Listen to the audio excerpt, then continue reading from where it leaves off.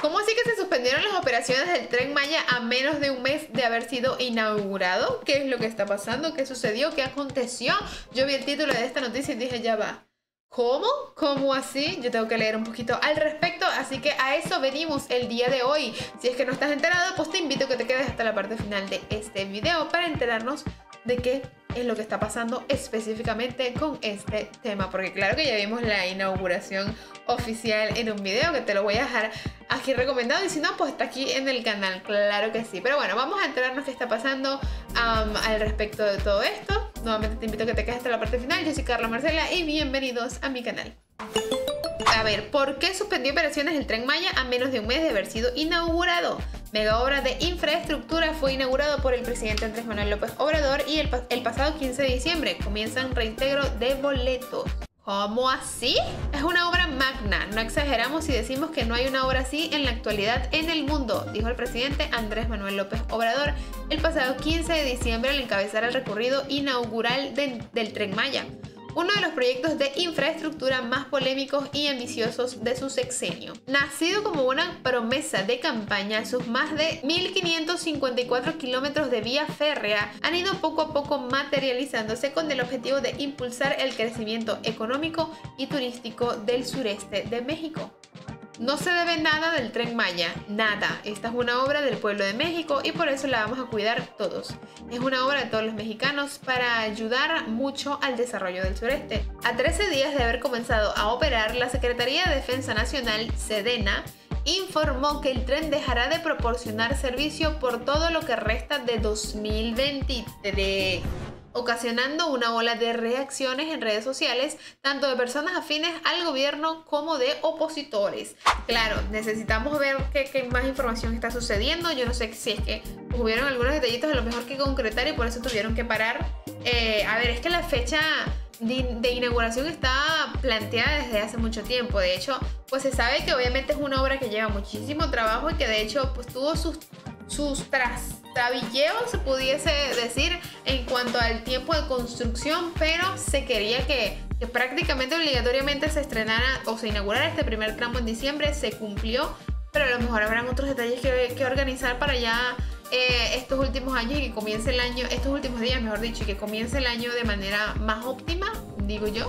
¿De qué día a qué día se suspenderán operaciones? El tren Maya dejó de proporcionar servicio al público desde las 11 horas del jueves 28 de diciembre suspensión que se mantendrá hasta el 31 de diciembre del presente año, explicó la Sedena en un comunicado. Sin embargo, el próximo lunes 1 de enero de 2024, el tren reiniciará sus operaciones como hasta hace un par de días venía haciéndolo.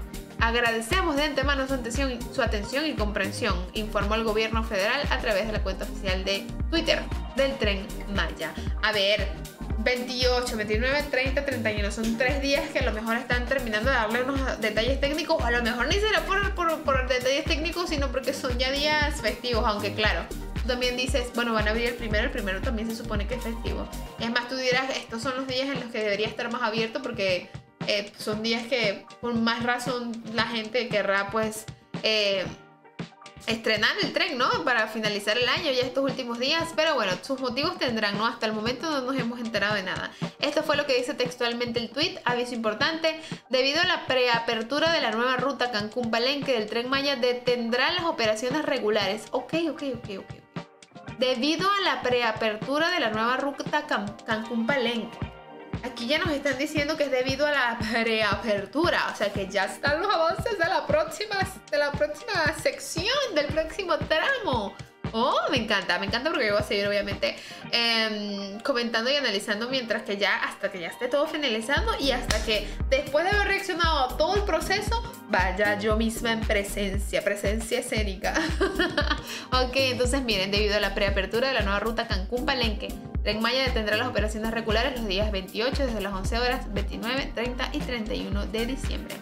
Para evitar cualquier perjuicio a los pasajeros, se habilitó un mail para el registro de los boletos adquiridos en dichas fechas, así como para aclarar cualquier duda. Ah, ok, claro, es que ya habían boletos vendidos para estas fechas y pues tenían que ahí ajustar esas situaciones. ¿Por qué dejó de prestar servicio el Tren Maya? La suspensión del servicio es con motivo de la próxima reapertura del tramo de Cancún a Palenque, programada para el primer Ok, pero es que la...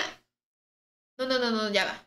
La suspensión del servicio es con motivo de la próxima reapertura del tramo Cancún a Palenque, programada para el primero de enero, sin, más, sin dar más detalles al respecto.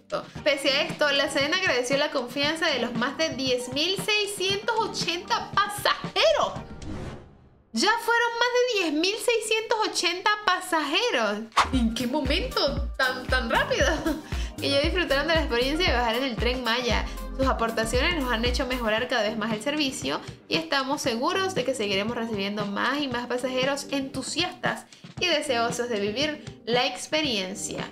Entonces, a partir de dicha fecha quedarán habilitadas 22 de las 34 estaciones que conformarán la ruta del tren Maya, las cuales son Palenque, Boca del Cerro, Tenosique, El Triunfo, Candelaria, Escárcega, Carrillo Puerto, Etzna, San Francisco de Campeche, Tenabo, Eselchacán, Calquiní, Manzcanú, Humán, Bella Mérida, Itzcocop, Izamal, Chichen Itzá, Valladolid, Mehuitzcán, Leona Vicario, Cancún Aeropuerto. Son muchas. Son muchas y yo quiero ir a todas y analizar y vivir y presenciar y disfrutar, claro que sí. Tercera etapa hasta febrero. La tercera y última etapa de este proyecto que incluye los tramos 5, 6 y 7 comenzará a operar el 29 de febrero de 2024. De acuerdo con el gobierno federal, estos tres tramos avanzan en tiempo y forma y conjuntan 621 mil puntos. Perdón, perdón, 623.1 kilómetros 366 kilómetros de vía doble electrificada y 204 kilómetros de vía sencilla. Sí, aquí estuvo más o menos un resumen bien explicado. A ver, básicamente por qué cerró el tren Maya y por qué va a cerrar estos tres días.